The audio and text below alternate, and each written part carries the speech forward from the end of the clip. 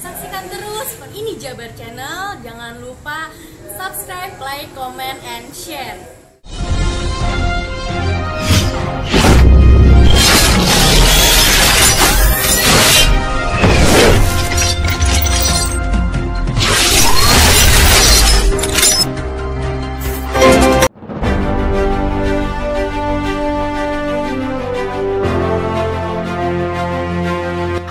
Beredarnya surat keputusan pergantian Ketua DPC Gerindra Kabupaten Bekasi yang ditandatangani Ketua dan Sekretaris DPD Partai Gerindra Jawa Barat dinilai hanya membuat gaduh partai berlambang kepala burung Garuda tersebut.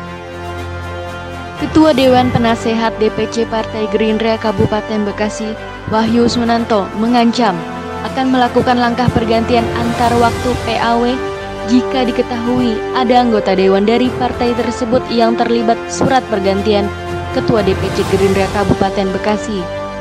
Wahyu juga mensinyalir bahwa surat tersebut diduga palsu. Pasalnya dirinya mengetahui surat tersebut dari kader partai lain.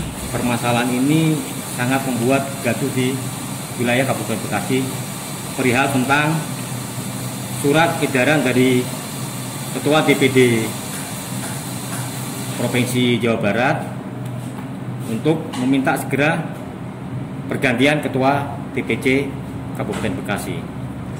Sedangkan selama ini kan suratnya tanggal 31 ya.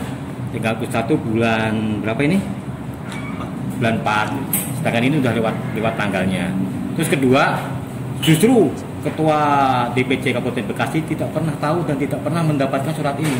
Saya dapat surat ini dari partai lain malahan setidaknya seorang pemimpin yang yang arif dan bijaksana yaitu ketua DPD harusnya beliau itu menyurati atau memberikan teguran atau telepon kepada Pak Nunu bukan dengan cara arogansi. Kenapa saya bilang arogansi? Arogansinya dia main bikin statement dan surat ini saya cek di DPP juga belum ada. Jadi surat ini saya nyatakan terindikasi palsu. Karena pihak yang sekarang mau diganti tidak pernah tahu dan tidak pernah mengetahui gitu. Gitu.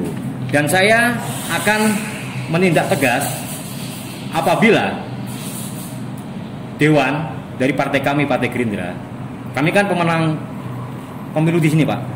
Kita punya ketua DPRD kita punya ketua komisi 3 kita ada ketua fraksi dan juga ada anggota dewan di sini. Apabila salah satu dari dewan baik itu ketua DPRD, ketua Komisi 3, ketua fraksi atau anggota-anggota dari Dewan Gerindra. Kalau sampai terindikasi terlibat dalam kegaduhan ini, kami lakukan PAW. Saya akan laporkan ke Mahkamah Etik Partai. Karena tidak bisa di, nggak bisa di ini lagi karena beliau-beliau ini harusnya membuat nyaman, tenang, tapi kok malah ada yang bikin kegaduhan ini dan jujur aja saya sudah mengantongin siapa orangnya ini. Cuma kita akan cari bukti lebih kuat lagi. Jadi kita tidak akan sembarang menuduh kalau bukti ini belum lengkap gitu. Jadi saya minta kepada teman-teman atau pengurus partai Gerindra cukup disikapi dengan berbesar hati. Jadi permasalahan ini saya nyatakan tidak ada dan ini saya nyatakan terindikasi palsu. Jadi saya minta tetap tenang, tetap bekerja untuk kepentingan rakyat Kabupaten Bekasi. Itu aja kawan-kawan. Ada pertanyaan lain? Pak itu restrukturisasinya itu usulannya berarti kan dari DPC ya ke DPD Jawa Barat. Itu ada list struktur perubahannya nggak? Dalam lampiran ini surat ini? Tidak ada. Ini cuma menyatakan bahwa kinerja Ketua DPC sudah tidak bagus Cuma ini kan sebenarnya kan kayak gini kan nggak perlu nyebar ke mana-mana. Cukup seorang pemimpin, ketua DPD memanggil ketua DPC atau melalui telepon, ajak ketemuan, sharinglah mereka apa sih kesalahannya. Kan bisa, bukan langsung membuat surat dan yang merasa di bikin surat ini tidak tidak tahu dan tidak pernah tahu. Justru kita tahunya dari partai lain gitu loh pak. Gitu loh. Jadi tidak ada perubahan struktur tidak ada. Dan ini tembusan ke DPP juga nggak ada pak saya udah cek nggak ada jadi saya bilang ini terindikasi palsu gitu loh. Dan saya akan cari siapa pelaku pembuat surat ini gitu loh. Karena ini udah membuat gaduh Partai Gerindra dengan Partai Gerindra ini kan besar pak. Kita pemenang pemilu, janganlah kita digoyang-goyang terus pak, capek. Kasihan mereka mau kerja pak. Dan saya yakin saya nyatakan apabila dewan-dewan dari Partai Gerindra baik itu ketua DPRD, baik itu ketua Komisi 3, baik itu ketua fraksi ataupun anggota Partai Gerindra yang menjabat sebagai sebagai dewan di Kabupaten Bekasi, kalau terlibat melakukan kegaduhan ini, saya akan bikin surat PAW dan saya minta Mahkamah Etik Partai DPP segera menurunkan PAW buat mereka yang telah membuat resah di partainya sendiri. Tidak bisa dibiarkan, Pak.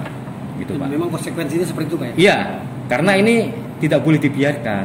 Karena partai kita itu besar, Pak.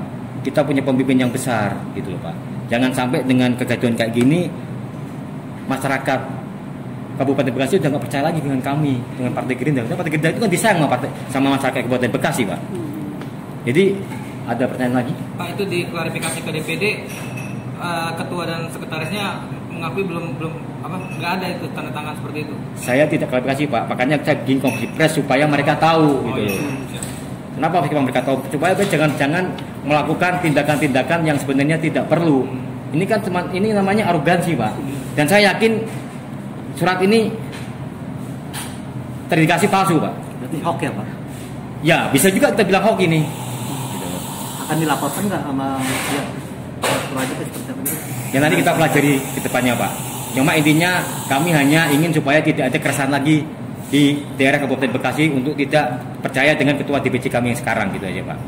Supaya ketua DPC kami itu bisa tetap kerja semangat memperjuangkan kepentingan Partai Gerindra dan rakyat Kabupaten Bekasi. Itu aja, Pak. Sudah? Terima kasih, Pak ya.